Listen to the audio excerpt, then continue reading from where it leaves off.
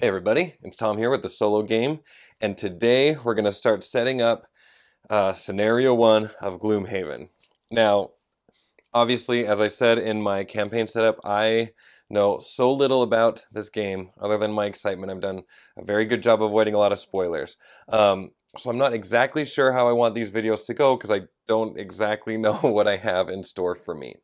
But what I what I'm planning on doing is this. I know this doesn't look like my typical setup videos. Usually with my setup videos, I start with a closed box and we just unpack everything. Well, if you have unpacked Gloomhaven before, you know it is a lot of work.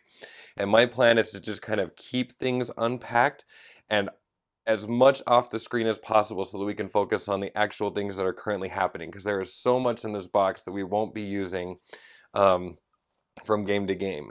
Uh, so let me just give you a quick tour of what we've got. And then what we're going to do is we're going to show you how we're going to dive into the game, set up a scenario.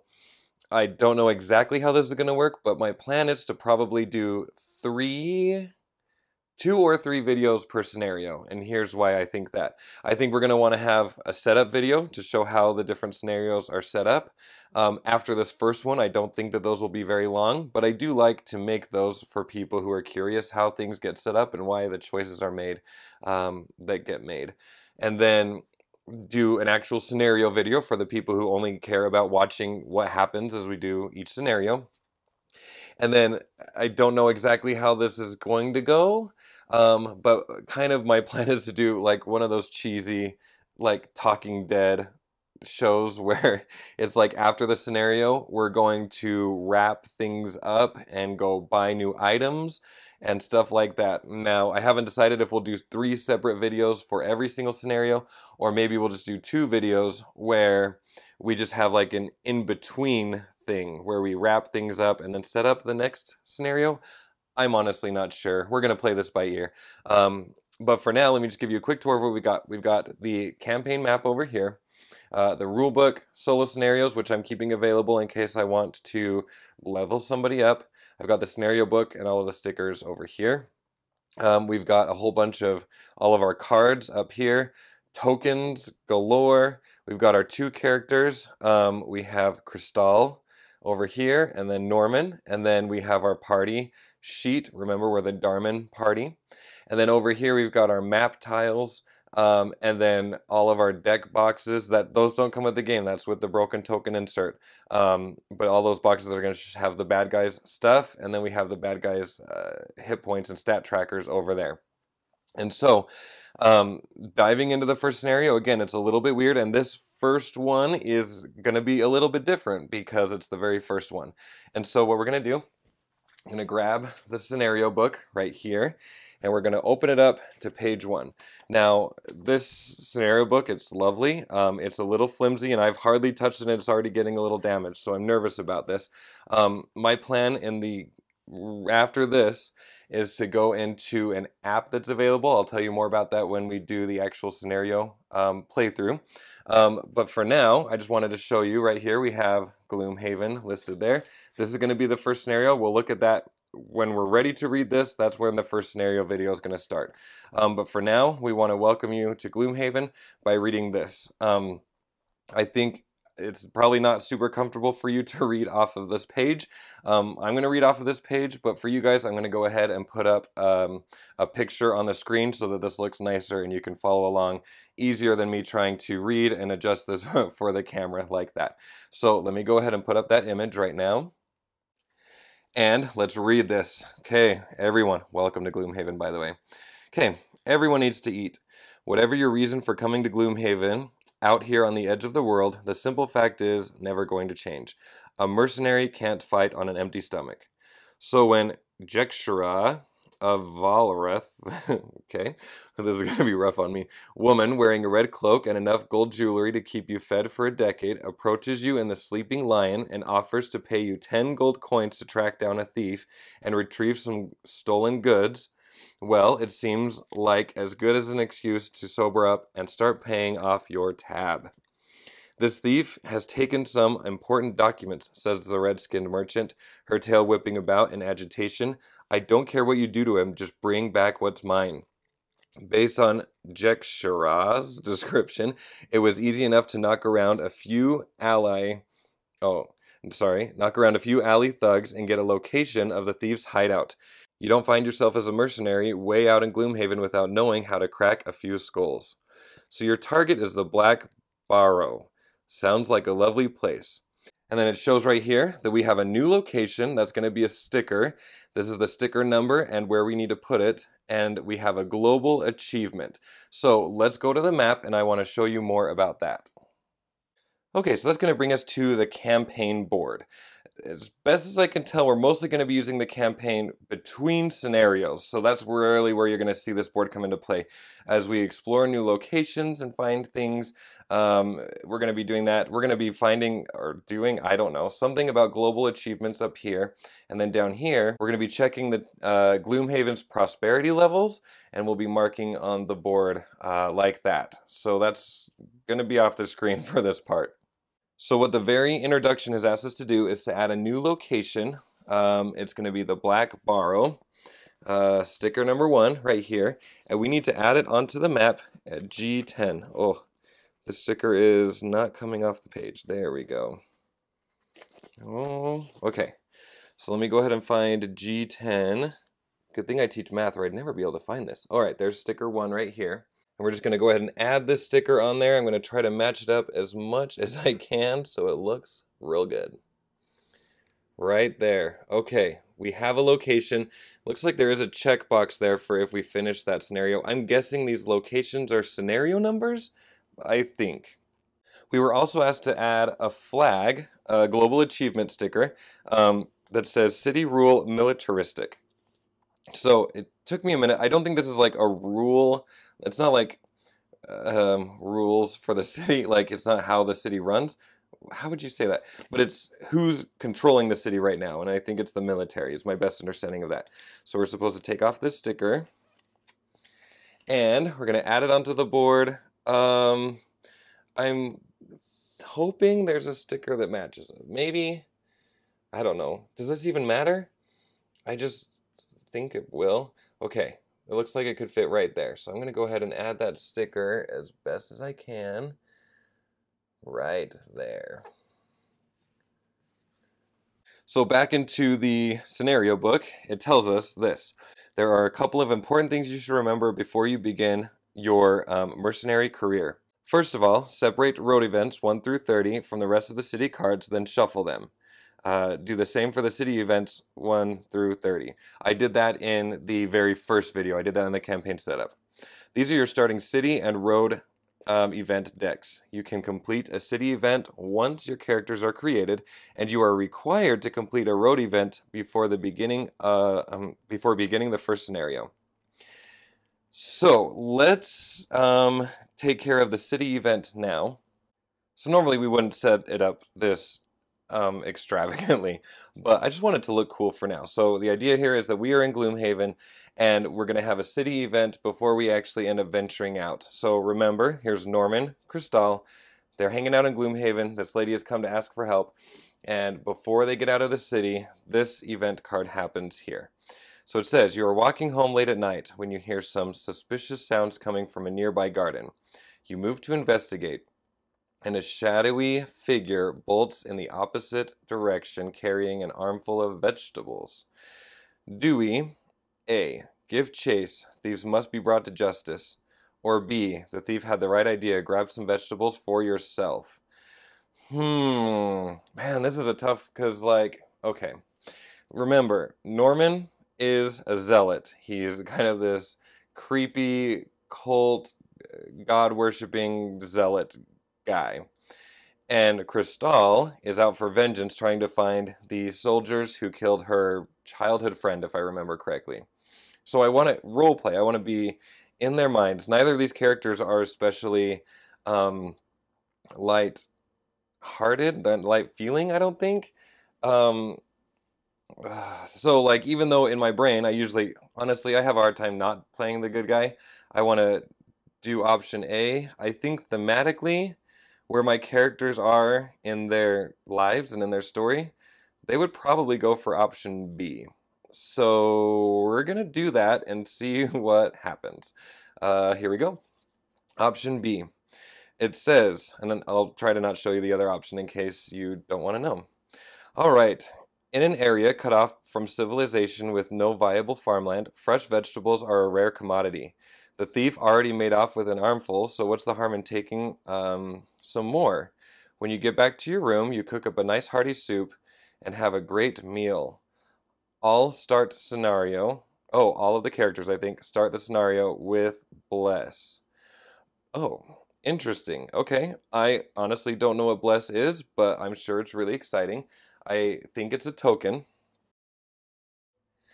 Okay, so I did a little bit of research. I am sorry, I promise you I have read these rules a couple of times, but they are intense. Uh, Bless is not a token, it's actually an attack modifier, so I have found these. And what the rulebook says is that these are positive conditions.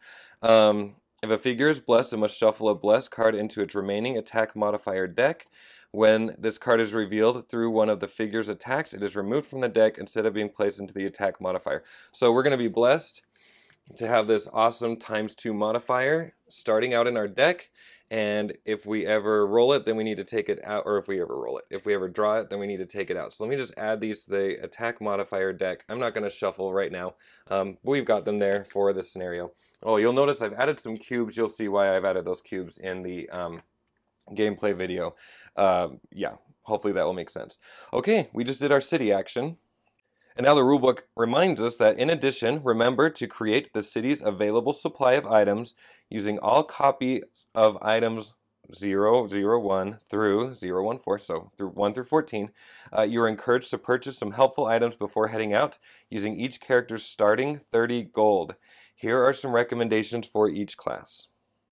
So I honestly don't remember which page it shows, um, but I do think that we start off in Gloomhaven, we've got 30 gold, and this is what that's referring to.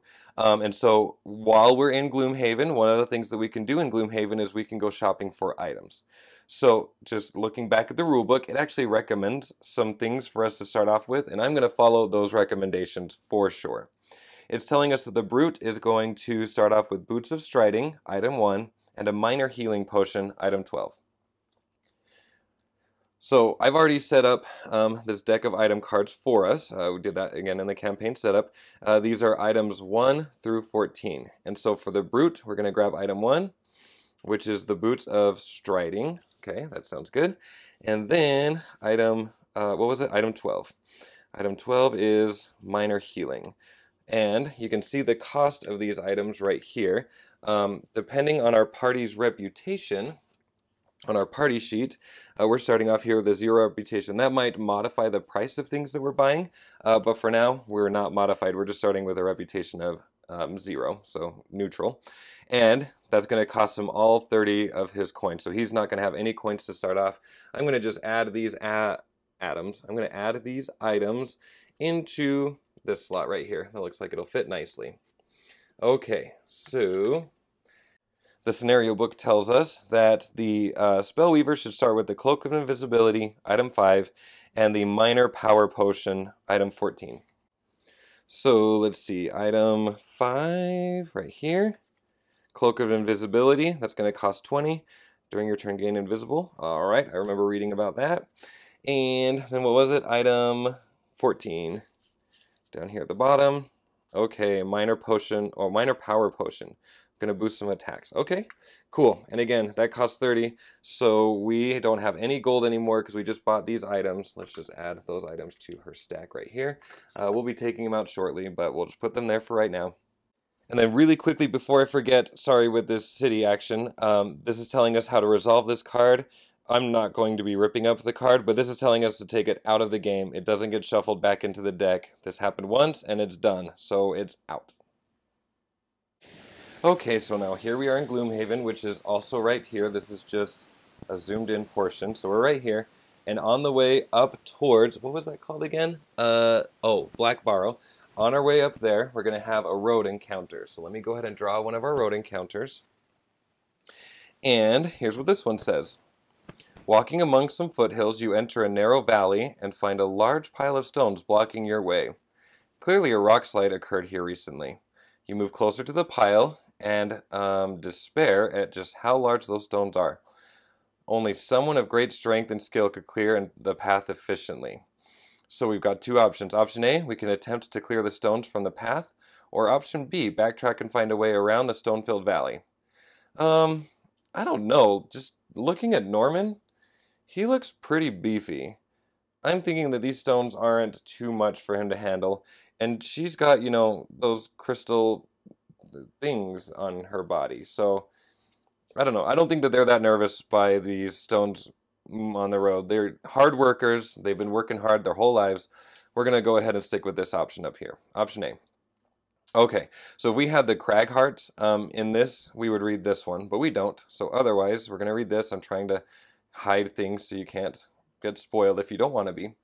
Um, let's see. The situation is not ideal, uh, but you work through the pain. By the time a path has been cleared away, uh, you never want to see another rock in your life. Discard two cards each.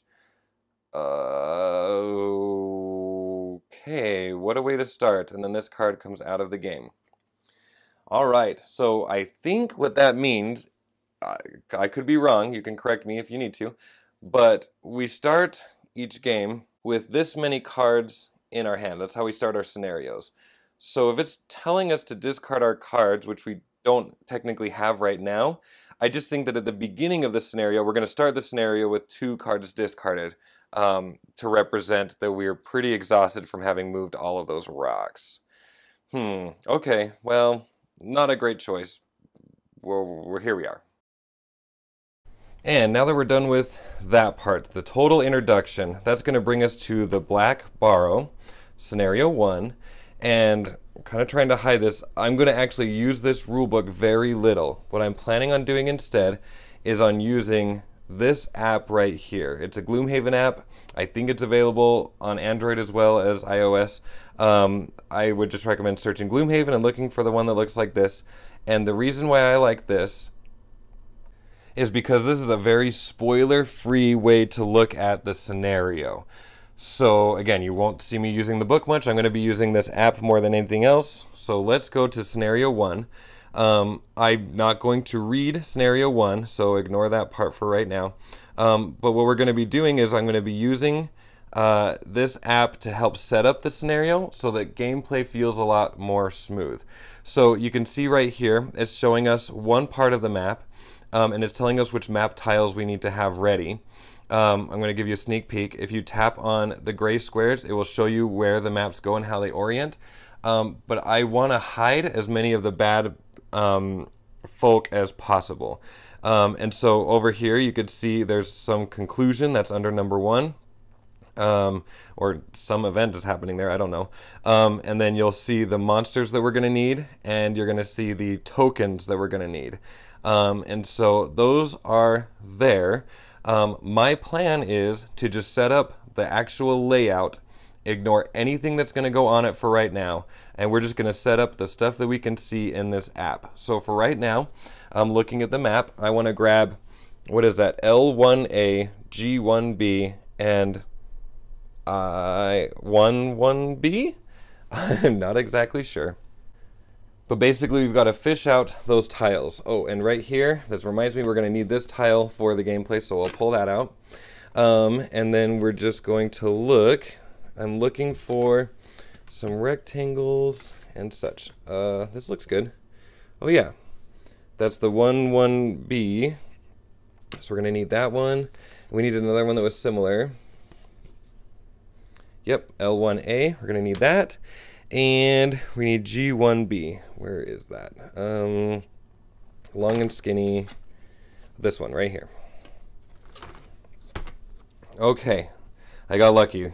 These are not so easy to find usually. Okay, so G1B. These are the three tiles that we're going to need. I can just go ahead and pack the rest up. Well, I can never figure out how I did this. And I know there's like icons on here to show you, but I struggle. Uh, you know I struggle.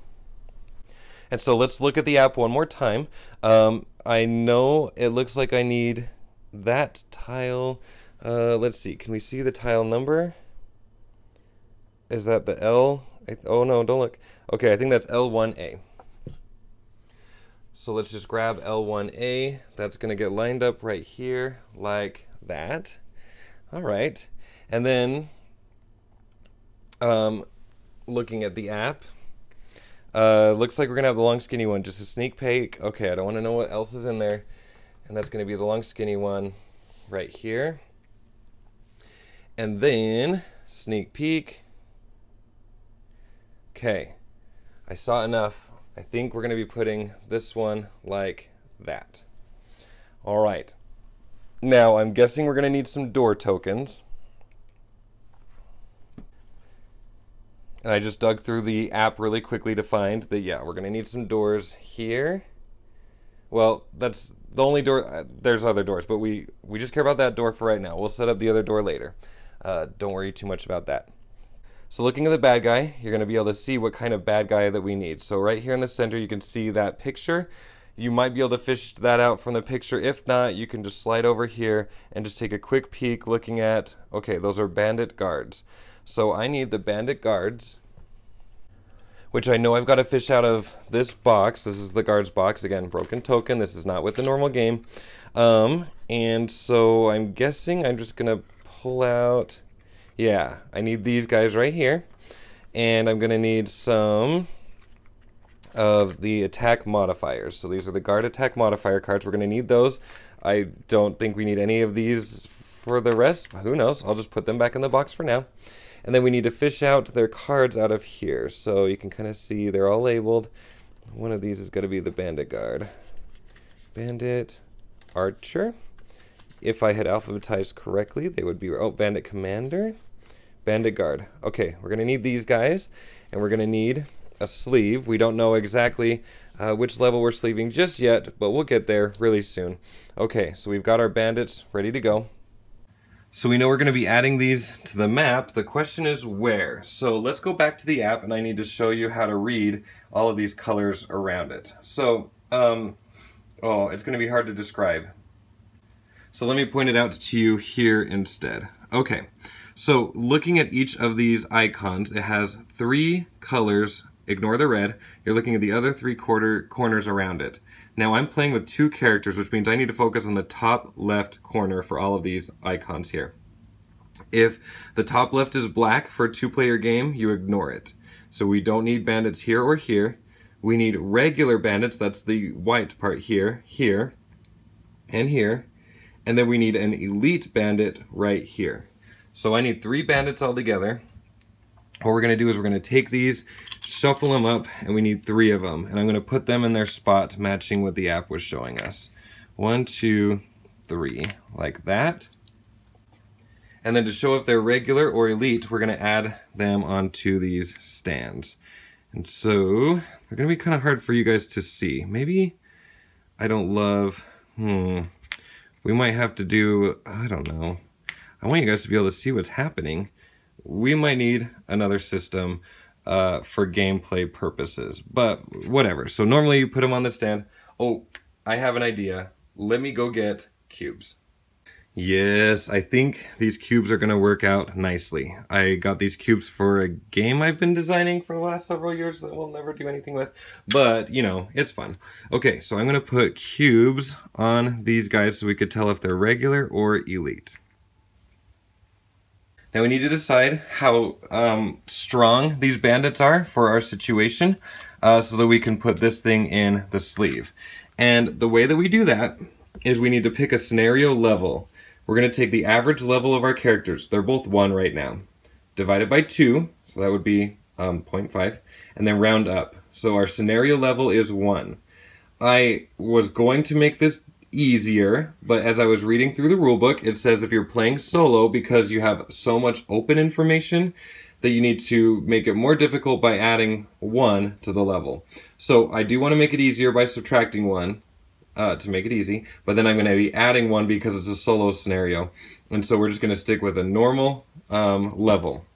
So down here, the scenario level, we're going to be at level one.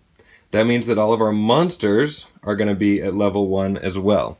And so looking here at the Bandit Guard, this card has all of these different levels of monsters, like that, and also on the back. And we're just going to sleeve these so that we can see monster level 1. So this is how the game scales, both for player count and also as things are leveling up. Um, they make it easier. And you'd think I could sleeve this, but you'd be wrong. Okay, there we go. Okay, so those are our Bandit Guards. Now, I'm going to do something differently than I think the rulebook suggests. When bandit or when any enemy takes hits, you actually add wounds onto their tracker. Um, for me, I know my personality in games that I've played, I have a hard time, especially with these small numbers and things. I want to know who's out and who's um, um, being hit and things like that. And so what I'm going to be doing is I'm going to actually add I'm going to put on health instead of damage onto this, and we're going to remove that as we play. Again, be aware that that is different than how most people play this game, but I'm not most people, and I do what I want. So, taking a look here, the white side is the regular bandit guards, the yellow side is the elite. Right here, this icon shows the health. So I need to get 6 health on both of the white um, bandit guards and 9 health on the elite one. And you can see each bandit has a little tiny number. These were chosen randomly. That's their turn order, basically, more or less. And so um, bandit 4 and 1 are going to get 6 health. Again, that's different than normal. Chill out. Okay, so bandit 4 and 6. Man, why did I draw? Oh, no, bandit 4 and 1. Okay, 4 and 1, they each have 6 health. We're going to mark that like that. Maybe we'll put it like this so it's a little easier to see from the camera. Okay, and then Bandit 5, he's our elite one. He's going to start off with 9 health. So, one, two, three.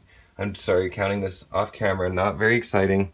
Uh, and he's number 5. So he's going to get all of these tokens.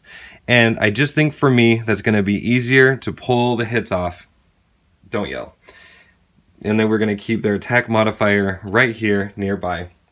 And now, take one more peek at the app and these door icons here show you where you can enter into the scenario. So we're going to place our characters on those spots somehow. I don't know what the strategy is going to be. We're just going to throw them on there. So I know the Brute is really strong. I'm going to put him right here. Uh, again, I know that's going to be hard for you guys to see, but hopefully he's big enough and different enough that you can tell from overhead who that is. Maybe we'll bring the camera down diagonally. Uh, we're going to find, we're playing for fun. And then we're going to keep her farther back. She can do range damage more so than he can, I'm guessing. Uh, just from the pictures, it looks like she's casting spells, probably. Um, and the brute just goes and pummels people. So we're going to go ahead and set up our characters right here and here. And I'll also point out that that work that we went through to set up the bandit guard, I'm going to mostly do off camera during the scenario when we enter the other rooms. So when you enter the rooms, then we're going to go look at the map and see who's hiding out in there. And I'm going to mostly just have this stuff set up ready to go. And the last thing we've got to do is we've got to set up camp for our characters. So I'm going to go ahead and put Crystale on that side. We're going to put Norman on this side. Let's zoom in a little bit closer and make sure that their play area is ready for the game. So Norman, let's go ahead and unpack his little crate here. Um, don't know that we necessarily need this in for gameplay. That kind of seems like a between gameplay thing, so we'll pull that aside. We're going to set up his experience and his health here in a second. Um, back in the last video, we found an overall motivation for Norman. Um, we're going to talk more about that in the in the gameplay scenario, but I'm going to keep that right here in that. And then we have his action cards. We will need to remember to discard two why am I shuffling these? I don't know. But we're going to end up discarding two because of that rock situation. Uh, we've got his two items. Got to find a good place for those. As well as his attack modifiers, to which we have our blessing in there also. We're going to shuffle those. Now, these cubes do not come with the game. Most people don't use them. I'm going to use them to help track which action on which card I'm using and which card represents the initiative because I'm just going to be splaying the cards out um, for all to see. And then we have these tokens down here that we're going to need, but we don't need those on camera. So let's go ahead and set this up. Norman is at level 1 right now, which means that he's going to start off with 10 health. So let's go ahead and give Norman 10 health, like that. And he's going to start off with 0 experience points. Okay, so that's going there. And we've got his attack modifiers. Where are we going to put that? We've got our health, and we've got our items. Okay, we're gonna put these here. I'm planning on putting things on camera like a normal person, like that. We've got the cubes, I'm just gonna keep these here-ish. Items, okay, let's get these attack modifiers shuffled.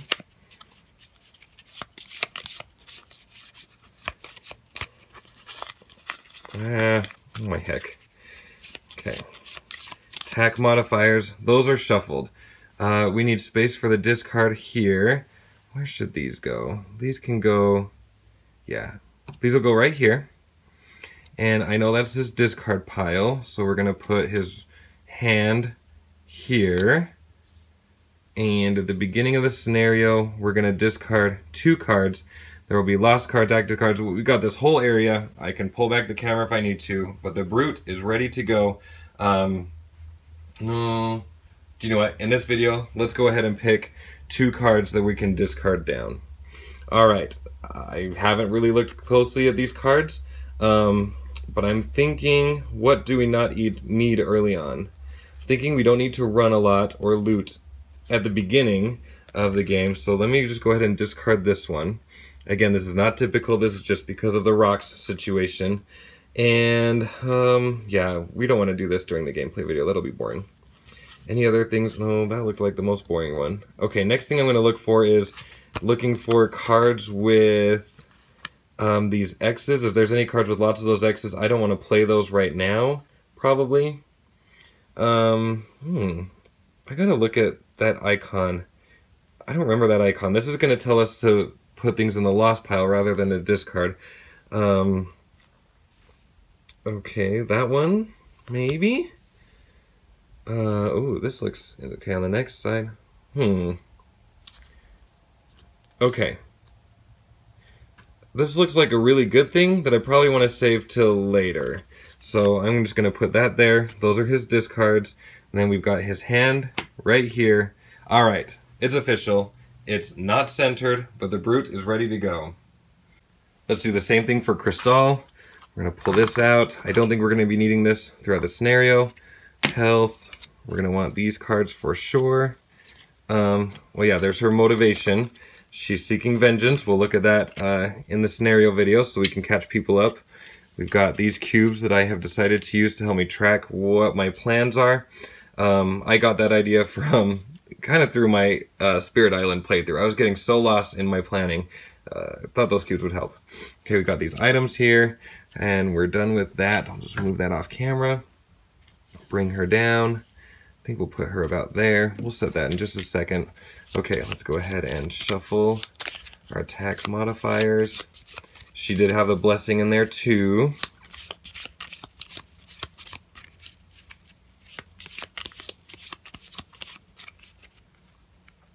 Okay. Oh, I should have been saying wonderful things. All right, we've got our these. We're putting these up here. We're gonna discard two cards here in a second. Um, she has one. She's at level one right now, level one power, strength, whatever. So she's actually starting off with six health. That's not great.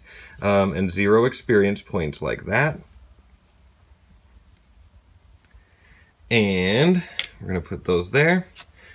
Next up are the items. We'll just keep the items nearby. Let's do a little something, something like that. And we got to go ahead and discard two cards to start off because of the rocks. So again, I'm kind of looking for things that might not apply right off the bat. I could be wrong, but I feel like we're not looting immediately. Uh, so let's just discard that. Um, and, hmm. Okay, any cards with a bunch of these X's, because I probably want to avoid those at the beginning. Uh, nothing with two of them but I want to avoid using, okay, so we're not going to discard these because they don't have any of the X's. And we might not be moving, okay, hopefully we won't need to heal quickly. I say that, you never know.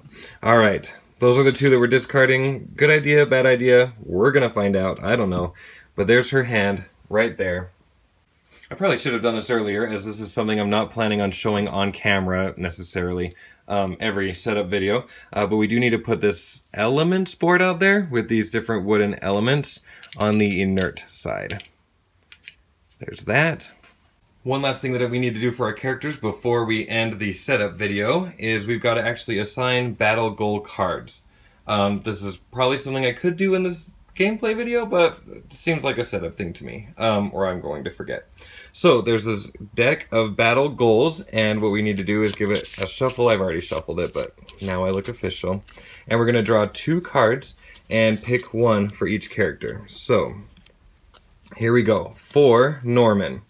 For this battle, do we want him to do Die Hard or Executioner? And it's one check mark for each. We'll talk about check marks in the third video for this scenario, or whenever I do it.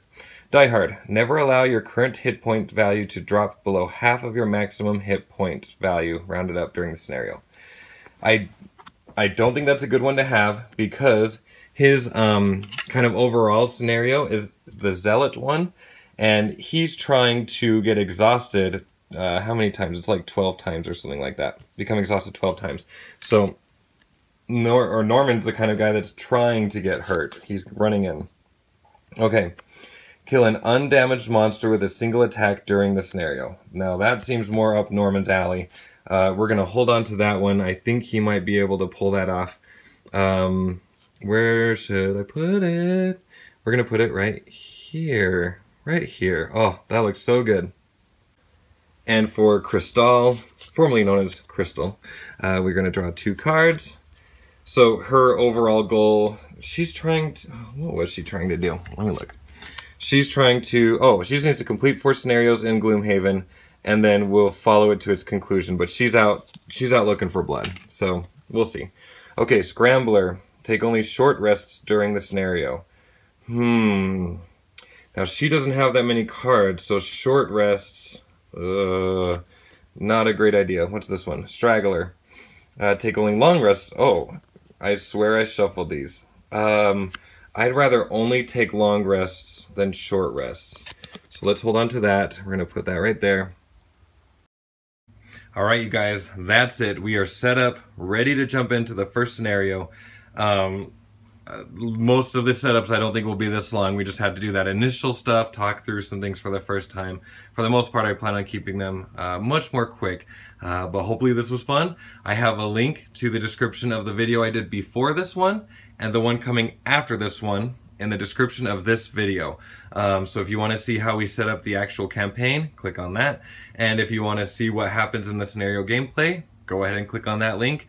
Um, I look forward to seeing you there, and I am really crossing my fingers. Guys, there are no dice here. There are cards to draw, but there are no dice. So I am having very positive thoughts about this. Um, yeah, so I hopefully will see some of you guys in that scenario playthrough gameplay video. Okay, bye!